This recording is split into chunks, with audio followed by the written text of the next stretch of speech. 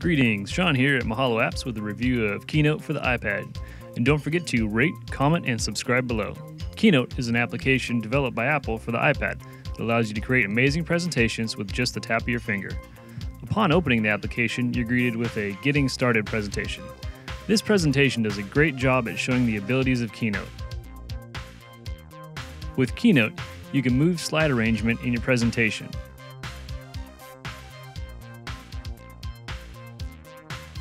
Cut, copy, delete, and skip a slide with just one tap. Editing text is as easy as double tapping the object.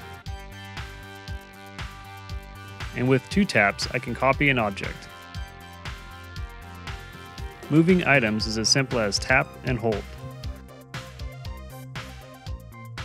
To rotate an object, I just use two fingers, tap, and hold. With just three taps, I can add an object to the slide. With another three taps, I can change the color of this object. And changing a chart is as easy as double tapping the chart. Keynote also has many ways to animate objects and slides, with the ability to decide how objects enter and exit, and how the slides animate themselves. With all these tools, you can create a professional presentation with pictures, graphs, shapes, and animations. Then when you're done, just tap through your presentation. For example, I'll create a three slide presentation using one of the preset templates. All I have to do is tap on the template I want, add a few slides from the template, and modify it to my choosing.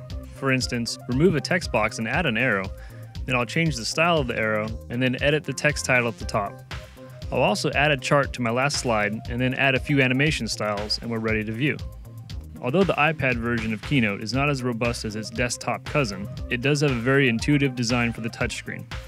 Every action has a natural feel to it, and that makes it easy to modify objects and navigate the application. Even with Keynote's shortcomings in comparison to the desktop version, it does very well on the iPad.